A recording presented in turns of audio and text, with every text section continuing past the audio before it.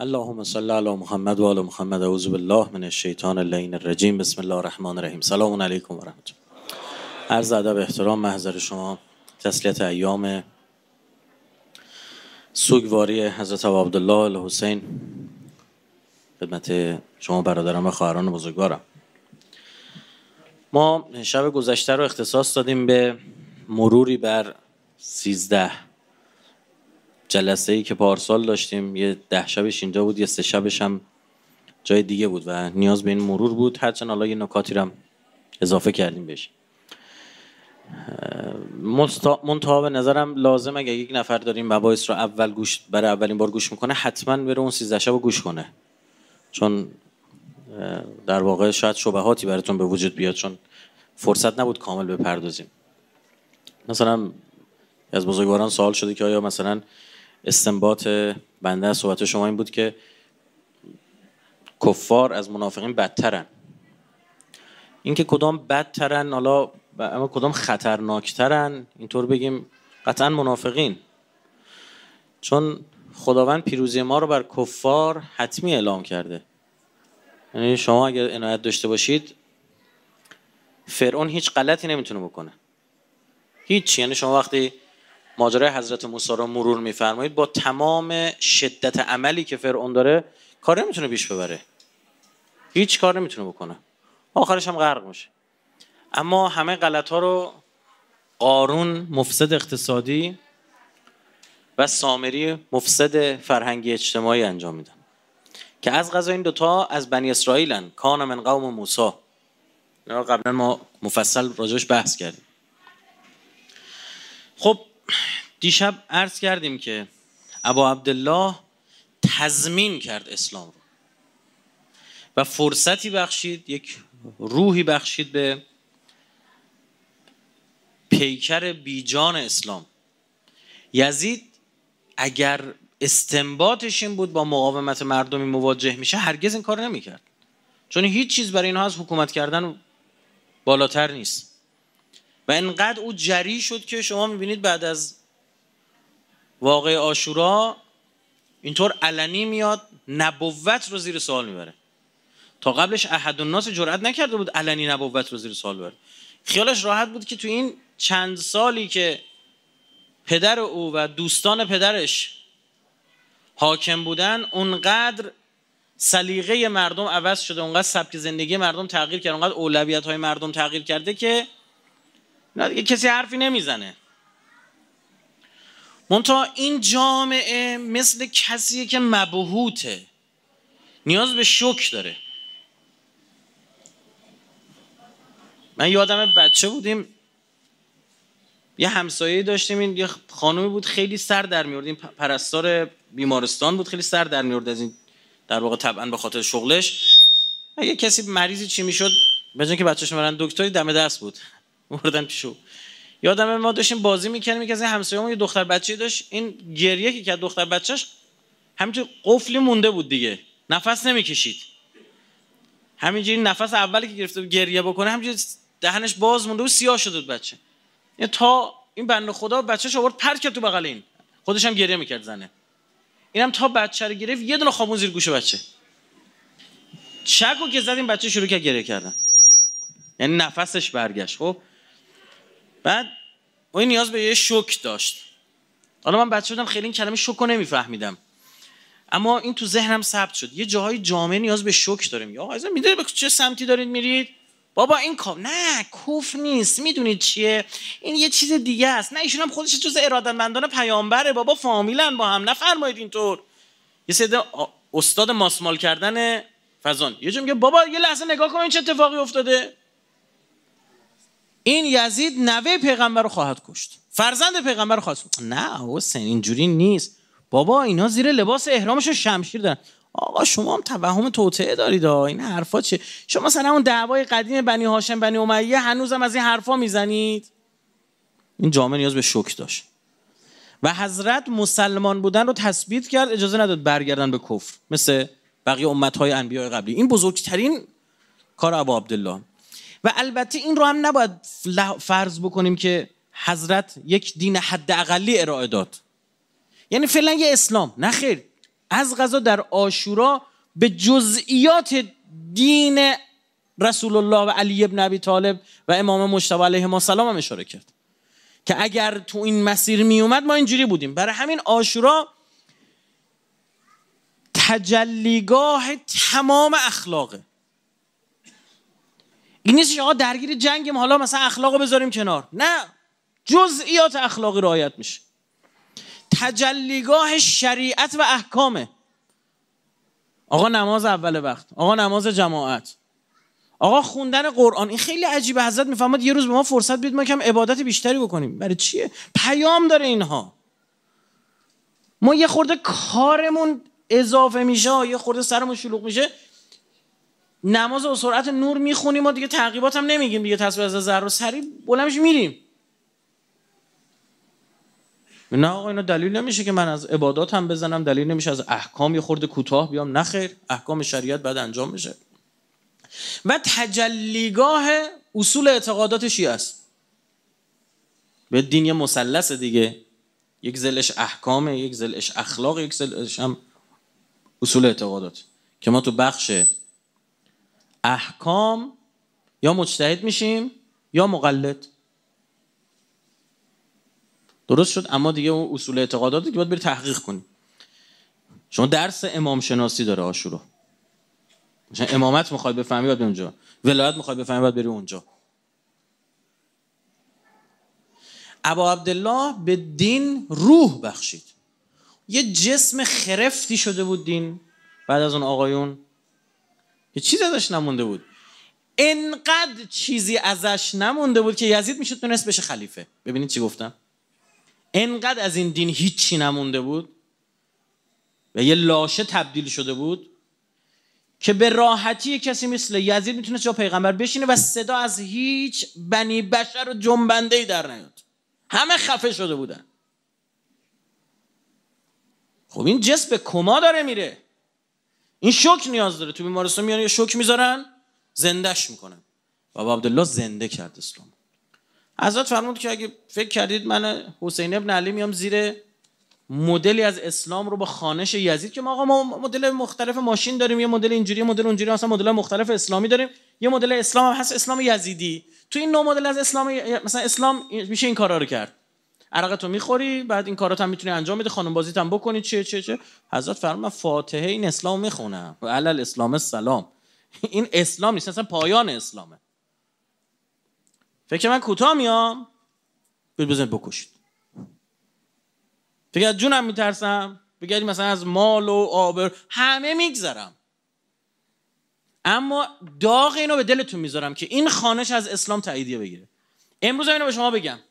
یک عده انقلابیگری رو در کشور ما دارن. یک انقلابیگری با خانشی آمریکایی و خانشی یزیدی می‌خوان ازش به ثبت برسونن. بدون بر گرده ماست امروز. اگر این نوع از خانش ثبتش اون دنیا جوابگو خواهیم بود. بعد داغ اینو به دل اینا بگذاریم. اسلام انقلابیگری که توش اشرافیت در بیاد. انقلابیگری که توش به سادگی به سادگی خوردن یه لیوان آب از کنار یه فقیر و مستضعف بتونی رد چی اصلا این انقلاب مستضعفین بوده. هدف اصلی این بوده. هدف اصلی مقابله با استکبار بوده. بعد شما فکر کنید انقلابی که توش رفاه زدگی مفرت در بیاد. انقلاب زدگی که انقلابیگری که از توش یک سری آدم منفعل و غیر کنشگر در بیاد که لال شدن جلوشون تمام اتفاقات داره میفته. لال شدن همه اتفاقات داره داره چشون میفته هیچ هیچ. این نماز جمعه های ما یه سری امام جمعه تقویمی داریم. میان تقویم تاریخ تعریف می‌کنن. امروز روز ارتشه امروز روز نمی‌دونم هوایی امروز روز نمی‌دونم چی. برخی از همه امام جای انقلابی هم داریم که دیدید دیگه. جلو فساد وای میستن جلو این زمین خاری و کوه خاری و دره خاری و رودخونه چیزی نموند اینا نخورن. این چطور دینه؟ این چطور دینداریه؟ ما تو گفتیم پیش نماز وایسا فقط. نه خیر. انقلابیگری که نسبت به استقلال کشور بی توجه باشه این انقلابیگری نیست. تو در تضاد با انقلاب استقلال آزادی جمهوری اسلامی اول این چهارم استقلال بوده. همه دردمون این بود که برای چی این شاه آدم اوناست؟ چرا تمام تصمیماتی که می‌گیره به نفع اونا می‌گیره؟ چرا از خودش هویتی نداره؟ چرا برای ایران تصمیم برای اونا داره تصمیم می‌گیره؟ حالا فرض کنید یه عده در کشور خودمون حالا بیان هر تصمیم می‌گیرن برای اونا بگیرن. و چه فرقی داره؟ مشکل ما فقط این بود که مثلا نمی‌دونم کسی که حرف می‌زنه حالا اگه آدمش عوض بشه مشکل حل میشه. ریش داشته باشه یقه ببنده انگشت رقیق دستش بندازه مشکل حل میشه. اینا نیست. اینکه چل سالی بگذره در جمهوری اسلامی ایران مسئول جمهوری اسلامی به اشرافیگری افتخار کنه. این مرگ انقلابه. این انقلاب نیاز به شک داره. نیاز به تنفس مصنوعی داره. باید کمکش کرد. و اگر ابو عبدالله این کارو نمی‌کرد روزی داعش می‌شد مسلمان. و اگر ماها سکوت بکنیم یه روز میگن هدف از انقلابشون این بوده. 230 هزار تا خون دادن که به این برسن. آقا چپ و راست کیلو چنده؟ این حرفا چی چیه؟ ای بگه مرگ بر آمریکا مرگ بر آمریکا مرگ بر آمریکا. دونه دونه بچه‌شون بفرستن اون طرف. همونجوری دارم بهش میگم مرگ. یا مرگ ما درست نفهمیدیم. خواهشم بچه هاتون رو به کام مرگ نفرستید. بچه های مردم برن سوریه برن عراق قبلش در خوزستان در مهران در غرب و جبهه جنوب به خاک و خون کشیده بشن. بعد تو بچت این کشور اون کشور فلان. یک روزی بود یک جایی اساتید دانشگاه دعوت می‌کردن برای یک جلسه ماهانه بود. چه جایی هم می‌رفتیم. جای بقایت انقلابی مثلا اسمش. چهارشنبه ها شب یه جلسه بود ماهانه. یادم نیست چهارشنبه آخر هر ماه بود اول ماه بود یادم نیست. مال هفت سال پیش. بعد یه روز حالا اساتید مطرح کشورها یعنی همشون صاحب نام و سخنران و این طرف اون طرف برو صاحب ایده و دکترین و تئوری و چی و چی اینا. بعد یه صحبت این شد که آقا مثلا آره من پسرم می‌خواد دکتری مثلا مدیریت نمیم چی بخونه یکیشون داشت حرف می‌زد. کدوم دانشگاه بخونه؟ یه همینجا حرف گر گر گر گر گرفت. یه ما آقا 60 70 درصد اینا بچه‌شون خارجه آره من پسرم اینجا فلان مهندسی فلان خون اونجا این کشور کشور خوبی اون که نه مثلا آلمان بره بهتره. نه آلمان بره بود یه زبان اضافی یاد بگیره همون انگلیس بره بهتره. یه لحظه ما نگاهیم چقدر غریبیم تو اونجا تو جمع به ظاهر انقلابی. و همیشه آدم بود گفتم به مراقب باش فردا روزی سی سال چل سال دیگه تو خودی که اینا نباشی. امام حسین گفت نمی‌ذارم. اصلا ببین بلند میشم میرم یه حجی این طرف درست می‌کنم که بهتون بفهمونم. یعنی ابو عبدالله با کربلاش روح حج و نمایش داد. جسم کالبد حجمون دور کعبه. مثل الامام که مثل الکعبه. مثل امام مثل کعبه. است کعبه واقعی ایشون بود داشت راه می‌رفت. و احمقا دور سنگ میچرخیدن. بلند شد اومد این طرف. اونا گوسفند قربانی می‌کردن. اینجا انسان ذبح شد.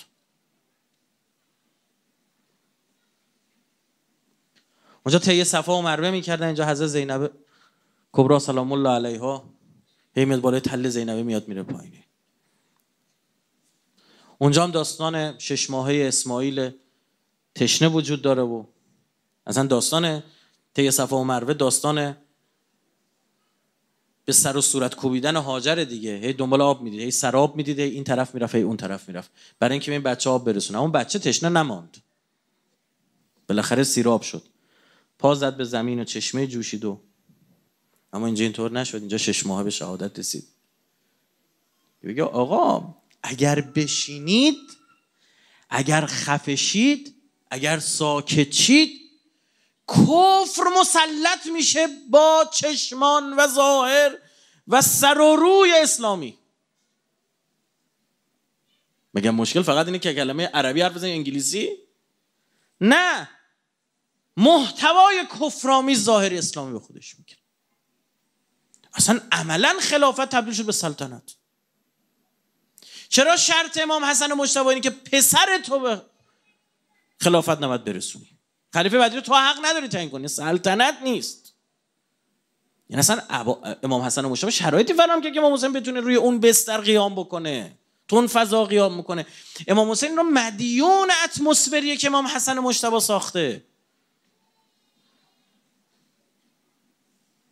اینو بارها هست کم در مظلومیت اهل بیت و امام حسین همین بس که شما هی بگید کوفه کوفه. با خودتون بپرسید بابا مدینه شهر اهل بیت مدینه شهر پیغمبر.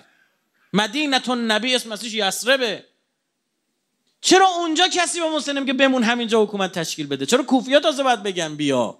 یعنی خیلی باز مردم کوفه شرف داشتن. امام حسین می‌فهمد بابا این آدم درست نیست. ول کن یا حسین حوصله دار.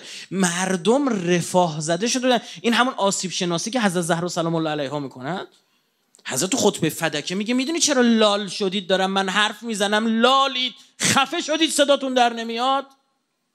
برای اینکه همتون رفاه زده شدید. میگید سری که درد نمی‌کنه دستمال نمیبندن. این بین شما شایع شده.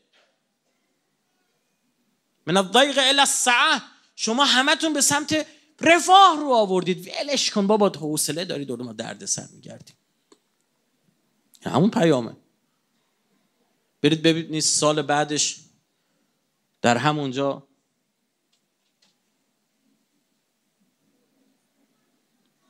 عبدالله ابن حنزله غسیل الملائکه قیام می‌کنه. یه بچه شهید عادیه. یه بچه شهید. عادی. این هم به پیغمبر بسته نه چی عرض کردیم باباش همون اسلام آورد. ازدواج کرد. همون شب اول ازدواجش. بند خدا جنگ شروع شد و به شهادت رسید. تو فرصت نکه قصد کنه. همون شب نطفه این بچه بسته شده بود. ایشون اومد گفتش که مردم حسین ابن علی کشتن و ظاهرا راست می‌گفته نه چیزایی می‌گفت. خب حالا بیاد با من بیعت کنید. به کیا داره میگه مردم مدینه؟ ده هزار نفر باش بیعت کرد. ده هزار نفر. اینا کجا بودن زمان حسین یه سال دو سال قبلش.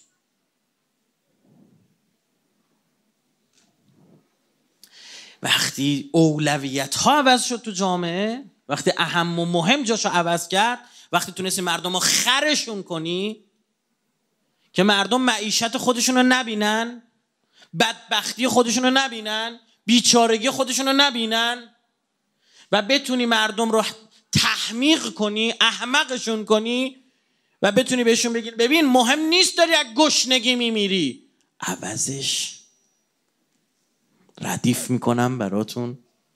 خانوما برم ورزشگاه.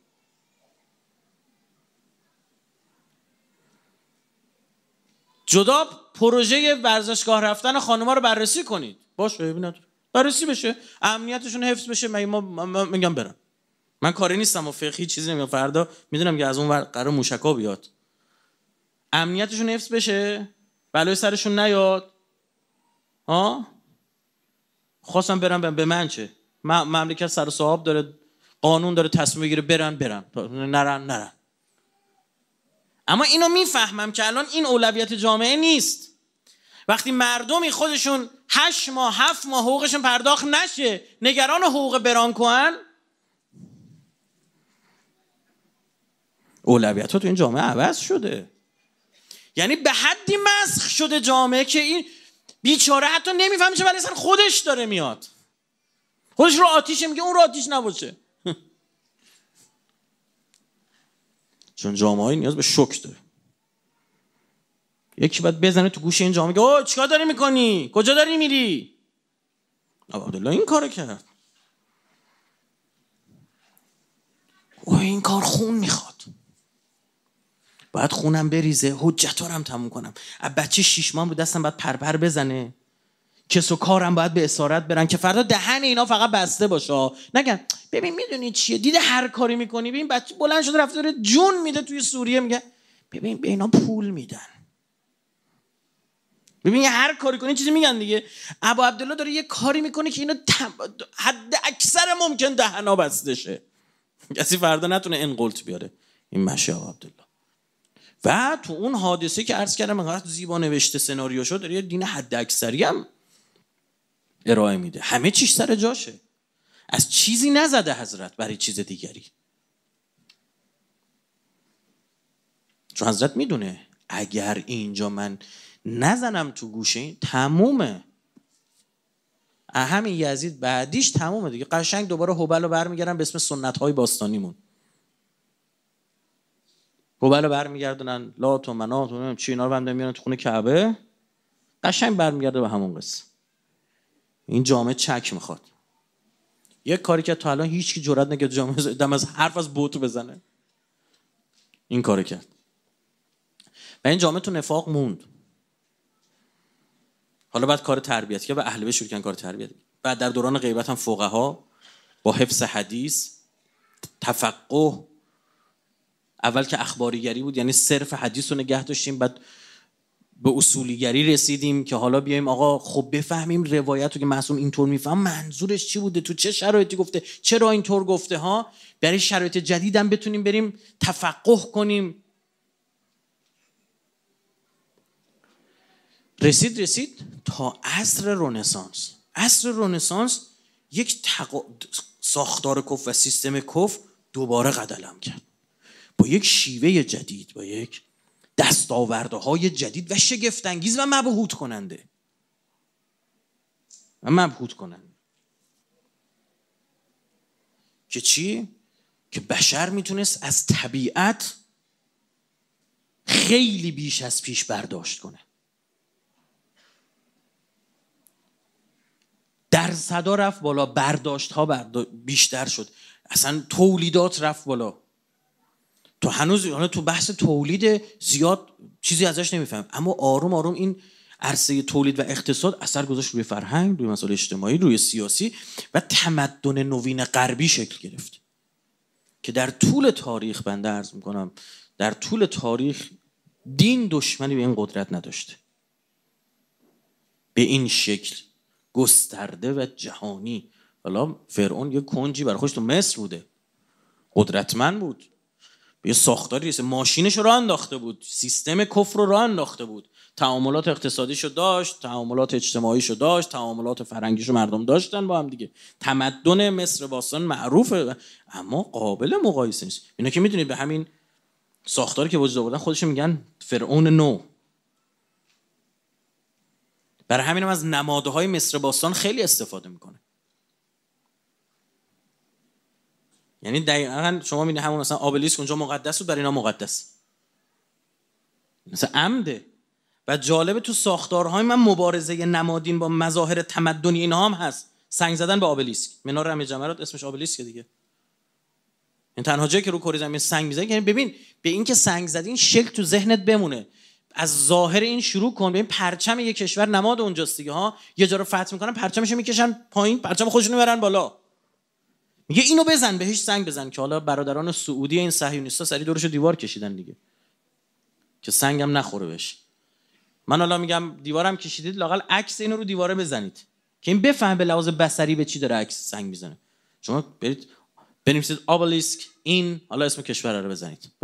تو آمریکا تو فرانسه تو انگلیس تو ترکیه تو جمهوری آذربایجان تو کجا می‌بینید؟ ای تو تمام این کشورها اینا هر جا رو مسلط شدن وقتی سلطهشون کامل می‌شد یه نماد آبلیسک میساختن بعدی مثلا نادون احمق اومدن ما گفتن چرا در مورد این نمادها حرف می‌زنیم گفتم من به تو چی بگم؟ من اول باید بشینم برای تو صد جلسه حرف بزنم برسونم به تمدن سازی. بعد بگم این مظاهر اون تمدن از همینجا شروع میشه بس این راه من برعکس رفتم.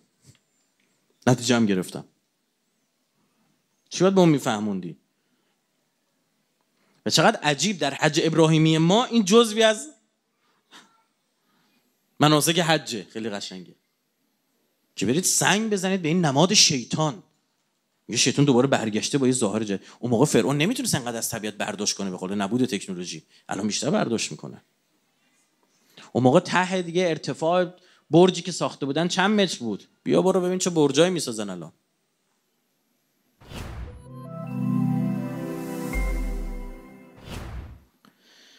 یه خورده امشب راجع به خود تمدن صحبت بکنیم که بدونیم آقا ما می‌دونیم که ما اصلا امام حسین قیام کرد که تمدن اسلامی درست شه.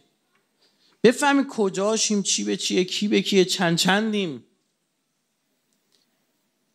یا چند وقتی پیش که رهبر انقلاب گام دوم انقلاب رو اعلام کردن بحث تمدن اسلامی مد نظر.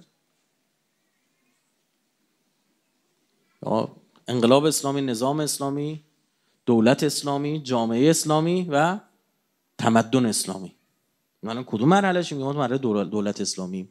انقلاب و نظام محقق کردیم بعد دولت اسلامی برسیم. به ظهور. مثلا شرط محقق شدن ظهوره. و الا خدای امامی رو میفرسته همونجوری که 11 تا امام دیگر تحویل و کفار و منافقین دادن ایشون هم تحویل میدن. چون آخرین ذخیره الهیه فلز خدا دست نکنه تا روزی که جامعه آماده نشه نمیفرسته.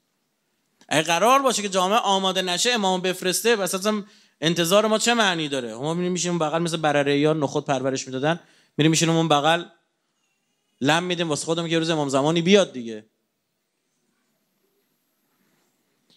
افضل الاعمال انتظار فرج. افضل عمله یعنی بیعملی نیست یه اکت یه کنشه. پس یه کاری باید کرد. کار سختی هم هست. خیلی کار سختیه در غرقابه خون و عرق محقق خواهد شد. باید زحمت بیدار خوابی کشید جنگید. خونها ریخته خواهد شد ریخته شده و خواهد شد. سختی ها باید کشیده بشه. تو به اون برس فکر تو الکی مفتی چیزی نیست. این بگم از اینجا این دنیا داره قرارم نیست اصلا. تو روایات ما اصلا می‌خواد بفهمی نفر منافقی یا نه میگه نگاهش به دنیا چیه؟ یعنی این محب دنیاست ببین مشکل داره. به دنیا دست و پا می‌زنه ببین مشکل داره. صوفی هم نیستیم. لغت بزنیم به دنیا. نه. به اندازه که باید برای دینداری اون استفاده کنیم ازش استفاده می‌کنیم. اما غرقش نمیشیم. سجده نمی کنیم به این بت جدید. به دنیا. تعاریف مختلفی برای تمدن آوردن من خیلی نمی‌خوام بحث آکادمیکش کنم. من از دو سه طرف صرفا اشاره می‌کنم برای اینکه آ برخی میگن تمدن یعنی سبک زندگی مجموعه از آدما که توی دوره تاریخی خاص یا تو جغرافیای خاص زندگی می‌کردن و داره اهداف مشترکی بودن و البته دستاوردهایی هم داشت. دستاوردهایی هم رسیدن مثلا. تو این نوع تعریف سبک زندگی خیلی مهمه دیگه. پر رنگ هستن بر مبنای انگار بقیه تعریف شدن یه دیگه میگن آقا یک نظم اجتماعیه. فرهنگ در کنار هم زیستنه. برای افرادی که در مجموع هدف مشترک دارن. از سمت دیگه یه استاندارد بعضی تعریف کردن برای رفتار محترمانه رسمی. یه آدم متمدنیه. یه انگار یه استانداردهایی داره. برای همین وقتی هر کشوری هر تمدنی تسلط پیدا می‌کرد بر پیرامون خودش رفتارهایی که غیر مال او باشن غیر متمدنانه تصور میشه. یعنی تو الان بخوای متمدن باشی باید بروز باشی مدرن باشی باید وسترنیزه زندگی کنی باید شبیه آمریکایی زندگی کنی. بعد لباسات شبیه اونا باشه. بعد حالا می‌فهمی ای حالا همین ها پیامبر میفهمود شاید نکنه اینه. پیامبر می‌فهمه وای به اون روزی که لباساتون شبیه لباس کفار بشه. غذا خوردنتون شبیه اونا بشه. یه سبک زندگیت باید فاصله بگیری.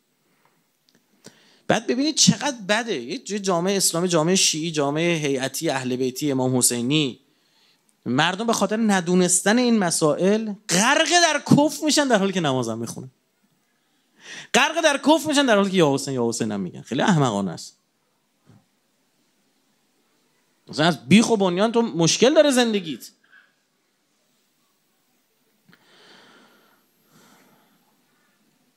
حالا این تمدن ها مظاهری هم داشتن. یا آقا این فرعون قرآن هم تاکید رو مظاهر تمدن فرعون از الاوتاد آقا این سازه های عجیب غریب. آقا قوم فلان قرآن میفرماد اینا هیکلای درشتی داشتن می‌رفتن کوه ها رو میکندن صخره ها رو نمی‌دونم چطور کرده بودن. این مزار الان میگی آقا یه سر برو دبی یه سر برو نیویورک برجای اونجا رو ببین. یعنی شما همین که میگه برج یعنی چی؟ خب من مثلا یه نفر تو ارتفاع مثلا 200 متری زندگی کنه مثلا با شعورتره برای چی میگه اینو؟ خب میرم بالا اورست. مشکلت حل میشه. میگه نه خب خودمون بسازیم خب که چی؟ این چی رو نشون میده؟ یه خورده نگاه می‌کنی یه خورده اینا رو عمیق بهش فکر بکنی چقدر اوضاع خراب میشه. همین بود دیگه. نگاه می‌کنیم این آقا من حالا راجع به این شبهای آینده راجع به مظاهر این تمدن جدید که فقط ما حول حضرت ابو عبدالله می‌تونیم به مقابله باهاش بریم وگرنه قطعا نابود میشیم و همه تونم همه اونم زخمی و جانباز این جنگیم. ببین الان ما همه اون یه سری رزمنده اومدیم نشستیم همه اونم زخمی جنگیم. منتها نه که جنگ سخت نیست نمی‌فهمیم. نگاه می‌کنیم آقا مثلا تلویزیون که آقا امروز رکورد گینس شکسته شد. میگه چیه؟ میگه ساندویچ درست کردم 5 کیلومتر. شنیدید از این اخبار؟ و یکی نیست خب بگه خب که چی؟ ساندویچ 5 کیلومتری به چه دردی می‌خوره؟ نه واقعا اهمیتش چیه؟ 5 کیلومتر نه خب 4 کیلومتر. اصلا 100 کیلومتر. به چه دردی می‌خوره ساخته یه ساندویچ 5 کیلومتری یا 100 کیلومتری؟ تو میگی 5 کیلومتر من لهت می‌کنم میگم هزار کیلومتر. مثلا یه سال نوری. به چه درد می‌خوره؟ میگه نه جالبه. همین؟ اون آبلیسکی که ساخته میشه تو اون ارتفاع سنگ یه تیکه. هنوز که هنوز تمام معمارا و فیزیکدانا هنوز موندن. بابا این لامصب چطور اینو علم کرد؟ نشستن تعداد سنگای یکی از این اهرام سلاسه رو فکر کنم هرم جیزا رو برداشتن شمردن بررسی کردن. بعد طول زمان ساختش هم بررسی کردن دیدن توی هر نمی‌دونم 9 ثانیه یا 19 ثانیه اینا باید یه سنگ می ساختن میگه خیلی و عجیب غریبه. همین دیگه. میگه مبهوت باش. مبهوت باش از این خبر. خب عجیب خب این عجیبه به چه درد می‌خوره؟ با اونش کار نداشته باش. اون سوال دوم سوال خطرناکه تو همینجا احمق بمون. بعد نگاه کن این اخبار تلویزیون خودت هم داره میگه. بله چون حل شده تو ساختار جهانی. چون اینم متأثره از اون تمدنه. اینم تحت تاثیر اونه چه فرقی می‌کنه؟ اخبار عجیب غریب میشنوید وقتی خوب بهش فکر کنه که چی؟ این سوال مهم هستی بخش. که چی؟ تو جامعه ما مد شده. آقا درس بخونید درس بخونید. برید بالا تا دکترا. خب بعدش که چی؟ که پول در بیارم. خب الان می‌تونم برم سر یه کاری خیلی زودتر ده سال زودتر پول در بیارم. نه خب درس بخونید خب کی گفته؟ همه میگن. خب همه غلطی می‌کنن. من من هم غلط رو باید انجام بدم؟ اگه منظورت اینه که به واسطه درس من با سواد بشم چشم روزی ده تا کتاب می‌خونم. اگه لازم مهارت های زندگی رو به دست بیارم که تو درس خوندن که ابدا وجود نداره. باشه دوره میرم از تجربیات دیگران استفاده می‌کنم کتاب می‌خونم مطالعه می‌کنم دوره تخصصی میرم. دیگه چه خاکی تو سرم کنم؟ تو بیخیال چی؟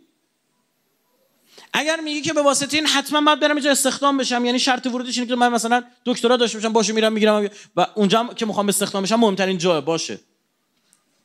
آقا نماینده مجلس باید فوق لیسانس داشتی خب حتما یه فوق لیسانسی بگی که نماینده مجلس بشی. چون هدف نماینده مجلس اوکی اینجا فهمیدم. یا حالا توی شهر بیدر و پیکری یه قانون گذاشتن که نماینده مجلس باید حتما فوق لیسانس داشته باشه. آیا فوق لیسانس شعور میاره برای او؟ الزاما نه.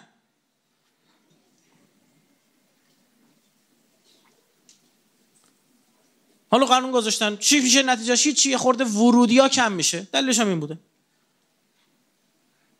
بعد نماینده که خودشون لیسانس داشتن این قانون تصویب کردن یه تبصره داشت. اونایی که لیسانس دارن و نماینده بودن این خودش یه مدرک محسوب میشه. فوق لیسانس. بله. که اتفاق میفته یکی از مسئولین تیکه می بهشون گفت رفتید شستی فشار دادید دکمه رای دادن. دکمه فشار دادید فوق لیسانس گرفتید. بعید ندونی بازی قانون تصویب کن بعد دکترا داشته باشید دارن و کسایی که دو دور بودن قبلا اون هر کدومش یه مدرک یا فوق لیسانس یا دکترا. حالا ریاست جمهوری که اصلا هیچی نمی‌خواد.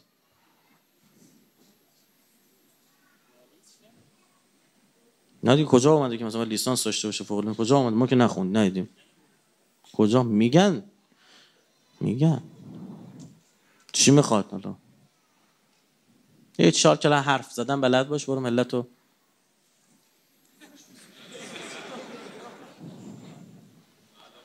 خب رسانه جزه عناصر کلیدی این تمدن جدیده.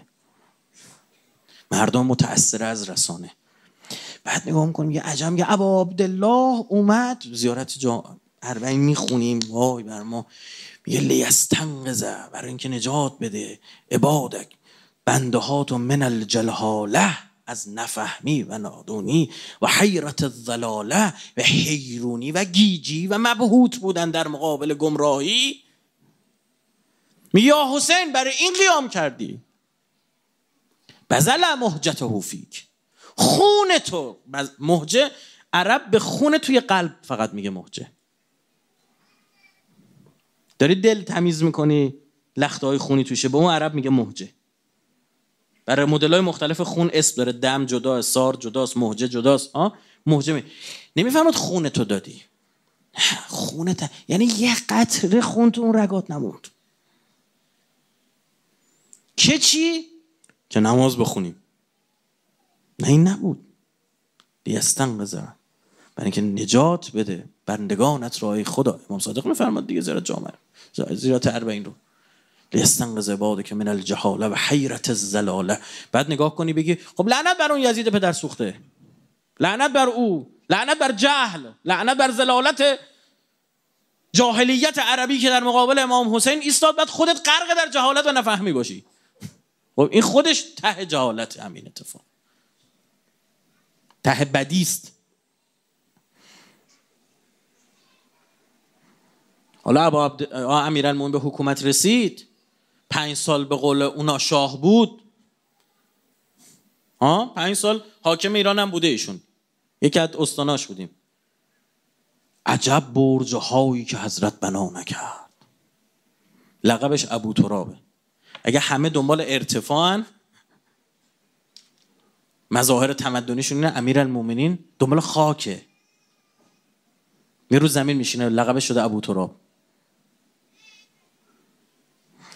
ما نیاز به فکر کردن داریم. فقط هم محرما می‌رسه این شوکا به اون وارد میشه خورده. برای اینکه جندوس شدیم. برای اینکه رفاه زده شدیم. بعد یهو یکی رو می‌بینیم که دوستش هم داریم. فطرت اونم قلقلک میده. خودمونم دوست داریم اون شکلی باشیم. بعد ببینیم جانش شده بعد ببینیم شجاع بوده. بعد ببینیم ایثارگر بوده. بعد ببینیم صادق بوده. بعد ببینیم همه خوبی ها رو داشته. یه تکونمون میده. برای دانشگاه. هرچند بماند خیلی از مردم میان تو هیئت از هیئت به عنوان یه حمام استفاده می‌کنن. فقط برای اینکه بیایم یه شستشو بشیم بریم دوباره سال بعد کسافتکاری کنیم دوباره بیایم شستشو بشیم بریم دوباره کسافتکاری کنیم بیایم شستشو بشیم بریم و کل زندگی 80 سال پا منبر نشسته همیونه یارو. یه پله نه بالا رفته نه پایین اومده فریز شده یارو. چی فرقی چی فهمید از زندگی دمی در حالی که این باید هر سال با سال قبل فرق جدید به دست آوردم. من اتفاق جدید برام افتاد.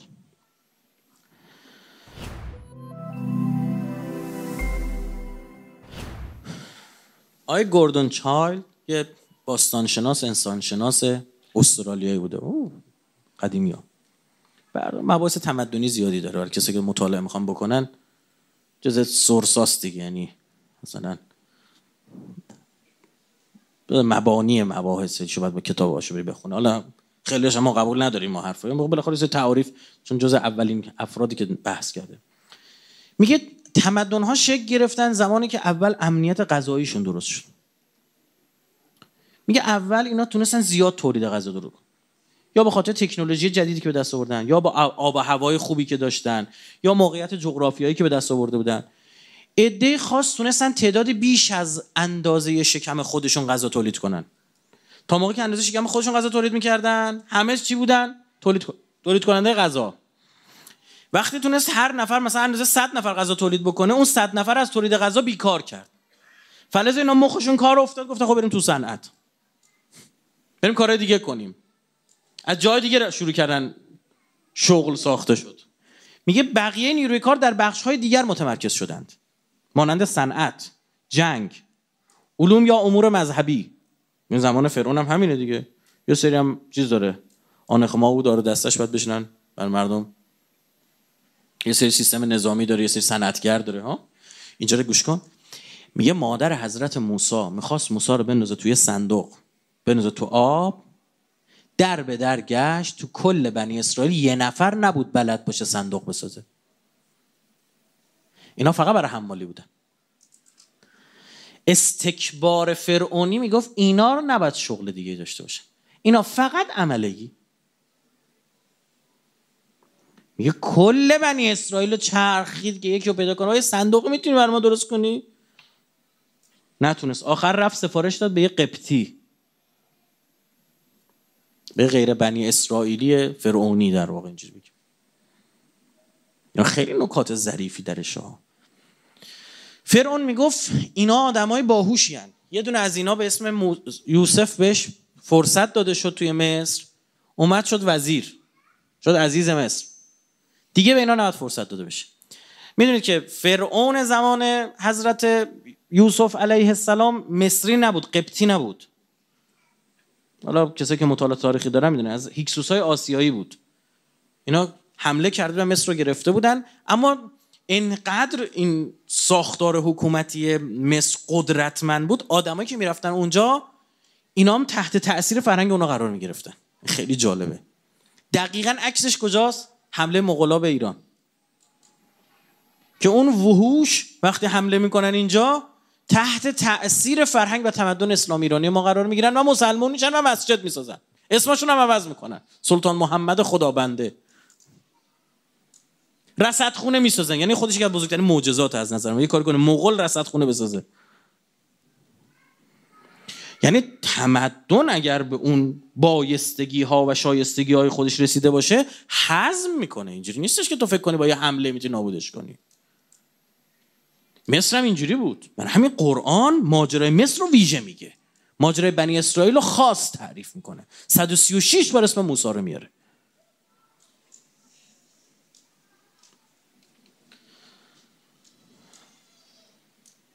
میگه این توسعه تکنولوژی توسط افرادی صورت می‌گرفت که تو تولید غذا نقشی نداشتن. بابا غذامون که می‌رسه. اون هرم آبراهام مازلو چی میگه؟ میگه اول تو نیازهای غذایی داری. آب دونت که درست شد تازه مخت کار میفته به فکر جای دیگه میفتی و چیکار کنیم؟ میگه آروم آروم تخصصهای دیگه شکل می‌گیره. شغلای دیگه به وجود میاد. و این تمدن همه چی این تمدن شعر نیاز داره ادبیات نیاز داره ها؟ هنر نیاز داره رسانه نیاز داره. این آدما رو باید از درون همین مردم بجوشن. این به شرطی که امنیت غذایی داشته باشن. حالا شما فرض کنید می‌بینید جا آمریکاییایید طرف یه نفر جلوتون وایستاده چل سال به چالش داره میکشدتون از کل منطقه انداختتون بیرون. از افغانستان تا سوریه رو گرفته. داره سخنرانی می‌کنه و تو قطعا از خود این آقایون بیشتر سخنرانیاشو گوش می‌کنی؟ تحلیلگرا اندیشگرا دارن بررسی می‌کنن. یعنی داره میگه تمدن اسلامی میگه خب ریشه تمدن از کجاست؟ میگن امنیت غذایی. میگه بزنید امنیت غذاییشونو. چیکار کنیم امنیت غذاییشونو بزنیم؟ نباید بتونن تولید کنن. چیکار کنیم تولید نکنن؟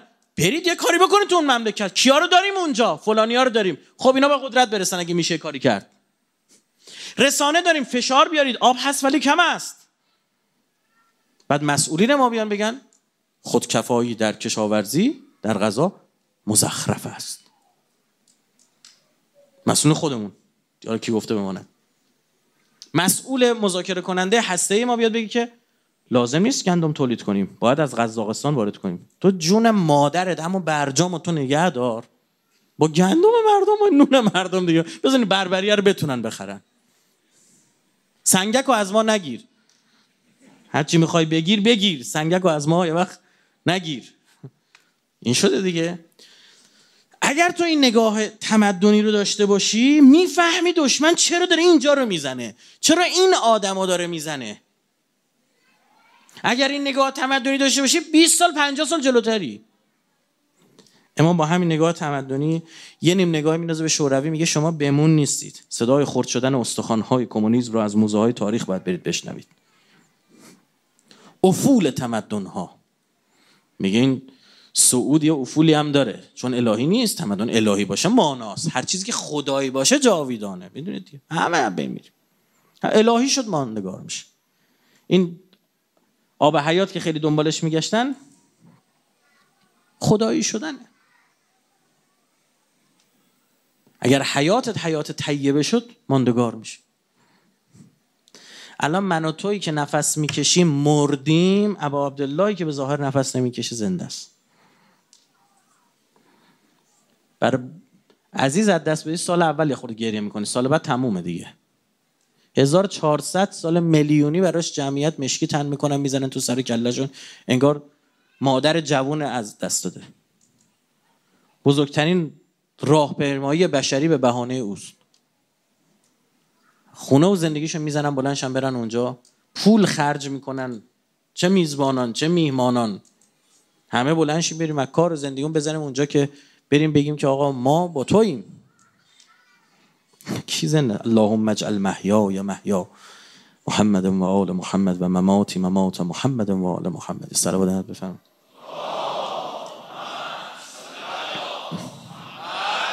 آل محمد. میگه در میان قبایل آمریکایی آنهایی که در کنار دریا زندگی می‌کردند و به ماهی ها دسترسی داشتند هنرشان گل کرد. میگه چرا؟ میگه چون می‌تونستن زیاد سید کنن غذا داشتن. بیکار شدن مجسمه درست کردن. بیکار شدن نقاشیشون خوب شد. ها؟ میان بررسی می‌کنن. میگه دیگر تولید کنندگان کشاورزان که میگه توی دشتا و دهاتا و اینا دیگر تولید کنندگان در جاهای تجمع یافتند و به آنها جا شهر گفتند. که دسترسیشون هم به غذا نزدیک باشه. یعنی هم نزدیک شهر بیرونش کشاورزی بود. این طرف هم بقیه کسا بودن. خونه هم که اوایل این بود که کشاورز کنار زمین خودش خونه داشت. بعدها اینا با پیشرفت تکنولوژی عرابه ها ساخته شد. از حیوانات تونستن مثلا رام کنن استفاده کنن اون مرکب استفاده کنن به این سمت و سو اومدن. تمدن ها به نوعی در برابر همه نیازهای حقیقی و زیبا شناختی مردم خود مسئولند. میگه یا به سرعت اینو تکمیلش می‌کنن به دست میارن یا اگر درونزایی هم نداشته باشه با تقلید حتما اینو اشباه و تکمیل می‌کنن.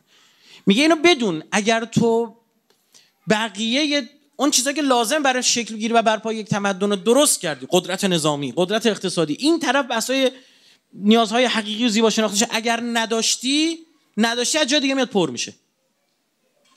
وام می‌گیرن. باید تمام نیازها رو پاسخ بده یک تمدن. الان نگاه کنید غرب خدا رو گذاشته کنار. خب بذاریم. اما نیاز فطری داریم به خدا. ببینیم چی شده. میگه هیچی. 16 هزار تا 19 هزار فرقه زاله در دنیا شکل گرفت. نیاز به خدا داره دیگه. خیلی رقم سنگین ها. چهار تا دین بود کلا قبلا. یه عدد چرا انقدر متناقضه؟ 16 19 هزار تفاوت داره. میگه تعریف ما از دین فرق می‌کنه. این میگه فرقه است اون یکی میگه زاله است اون یکی میگه نهله است اون میگه نمی‌دونم چیه. نیاز به خدا داری. همین الان سبک زندگی غربی ما تو کشور یه خورده کشور خودمون. دور بریتون نگاه کنی. ما تو کشور خودمون. یه خورده خدا کمرنگ شد تو زندگیشون. خدا که کمرنگ شد نمی‌شد که بی خدا باشه که. با یه چیز بعد جایگزین می‌کرد. رفت سراغ عرفان حلقه. رفت سراغ نمی‌دونم عرفان کوف زهر ما نمی‌دونم چیزا. این من در آوردی نیاز داره. این نیاز به آرامش داره. نمی‌تونه نسبت به این بی تفاوت باشه.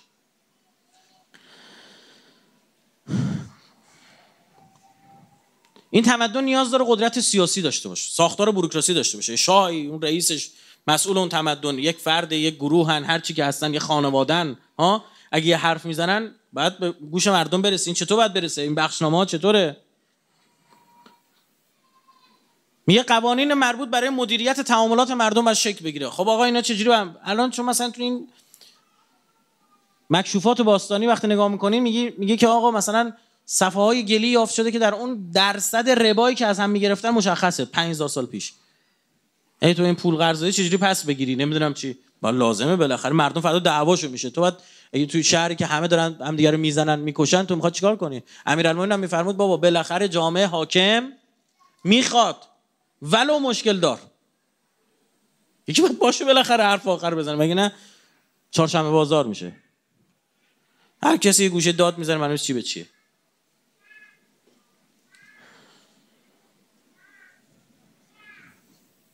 بعد میگن تعاملات اقتصادیشون رو درست می‌کنن رونق بازار شکل می‌گیره. توسعه و ترقی آروم آروم می‌کشه تو بحث هنر رو نوشتن و تعلیف و تجربیاتش تمدن ثبت می‌کنه که بچهش دوباره از اول چرخ اختراع نکنه. میگه پسرم بیا برو سر کلاس آموزشی که من میگم. تا اگه اینجوری که من میگم آموزش نبینی خطرناک علیه خودمون. آموزش پرورشش رو درست می‌کنه همه رو جمع می‌کنه میاره تا بتونه کارشو پیش ببره. حالا بحث زیاد من فقط هم امشب یه دو سه تا نکته دیگه بگم. ارزم تمام برای امشب کافیه بس باشه. ایده تمدن رو با فرهنگ مترادف به کار می‌برن. اصلا میگن همونه. با نظرشونه. ایده دیگه نقطه مقابل تمدن قرار میدن. یعنی میگن فرهنگ تغییر کرده همه در واقع عقاید و آفرینش های انسانی که مربوط به استوره و دین و هنر ادبیاته این میشه فرهنگ. متأثر از اوناست. اما تمدن بیشتر مربوط به فناوری و تکنولوژی و علمه. یعنی این رو هم قرار میدن.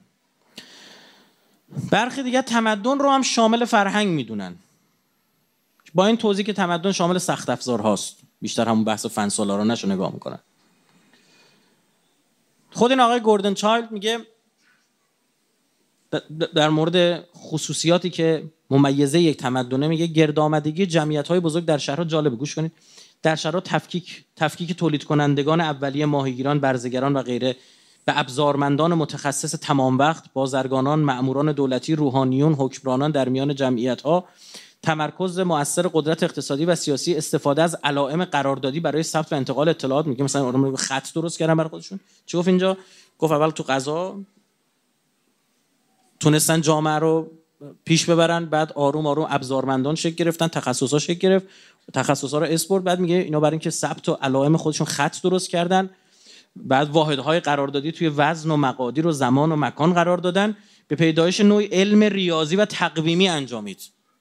اینو برای خودشون میگه. آقا این اینا واحد وزنشون این بود این هر سه کیلو رو معادل سه کیلو رو مثلا چقدر می‌دونستن؟ واحد زرع داشتن مثلا به جای متر الان ها. استانداردهایی دارن دیگه. بید. بعد این کار پیش اومد. ادی دیگه میگن ببین اگه بخوایم ما تقسیم بکنیم خیلی این علا... برخی با متاثر از این علائم ارتباطی و ثبت تجربیات به تمدن نگاه می‌کنن. میگن که اون چیزی که باش ثبت می‌کردن قبلا یه الفبای خط میخی بود. کاغذ مغاز هم بدبختان نداشتن. برای همین خوب نمی‌تونستن گسترشش بدن. زمان بر می‌شد سخت می‌شد. و بعضا این تمدن قبل شکل گیری جدیش از بین می‌رفت با یه حمله نظامی با یه چیزی. میگه اصر اول اصر الفباس اون کسایی که الفبا رو اختراع کردن اینا که داشتن بیشتر رشد پیدا کردن. آقا در زمان هخامنشیان ما صاحب تمدن بودیم. فلان بخشنامه حکومتی فرستادیم اونجا رو در دیوارم کندیم ما هم تخت جمشید بریم نگاه می‌کنیم. ببین چی نوشتن. میگه بعد چاپ اومد. چاپ که اومد دیگه نمی‌تونی کوه بکنی این ور ببری که. میگه این اصلا یک عرصه جدید. بعد میگه ضبط الکترونیک اینکه می‌تونی رو ضبط کنی نگه داری. و بعد میگه رایانه. این کامپیوتر اصلا متحول کرد. میگه این ابزار بعضی از این نگاه کردن. یعنی با پیشرفت سطح تکنولوژی در واقع سنجیدن. الغرض چی؟ گفتیم تمدنهایی مانا شدن که تونستن به نیازها همه نیازها درست و اصولی بتونن پاسخ بگن. وگرنه از بین میرن. فرعون مونده. قرآن چی میگه؟ قرآن میگه ببین تمدن کفر رو به قدرت و هایهوی و دادار دودورش نگاه نکن. این افول می‌کنه. کو فرعون؟ غرقش کردیم. ارم ذات الاماد. اون شهره رو بگو. شهر صاحب ستونها. اینا به یه شب بندن. یه زلزله میفرستیم یه چیز. دست خود طبیعت بعد معجزات اون از حسیه. برای مردمی که همه چیزو می‌بینن دیدن براشون محمد خیلی اقلانیت رشد پیدا نکرده باید معجزات هم همینجوری باشه حسی باشه. خود این طبیعت بزنه به اینا. هنوز هم که هنوز ما حسی ما می‌بینید؟ مثلا طوفان بزرگ فیلمش دست به دست میشه. اما چه کنیم که در عصر قرار گرفتیم که عصر پس از بعثته و خیلی عجیبه که خدا این نوع معجزات رو جلوش عملا می‌گیره و میفرماد اقلانیت جای حس می‌گیره. یا حالا بدونید اونها از این سمت میان جلو شما اینطوری باید جلوشون بیستید. حالا من فردا راجع اینا مفصلتر خدمت شما صحبت خواهم کرد.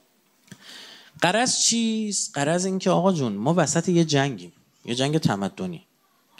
اگه گارد نگیری اگه نفهمی کجا جبهه وایستادی اگه نشناسی اگه ندونی سلاح این نوع نبرد تمدنی چیه قطعا باختی. جز کشته شدهایی متاسفانه کشته شده های این جنگ هم اونور جهنم تشریف دارن. یعنی ابدیت تو از دست میدی. خسرت دنیا و آخره میشه. این ورم که هر کاری کنی که اینا هیچ وقت به تو به چی دیده یه چشمابی آنگلو ساکسون نگاه نمی‌کنن. درست شد؟ هر چی باشه جهان سومی به قول آلمانیا سرسیاهی. یعنی موهات سیاهه.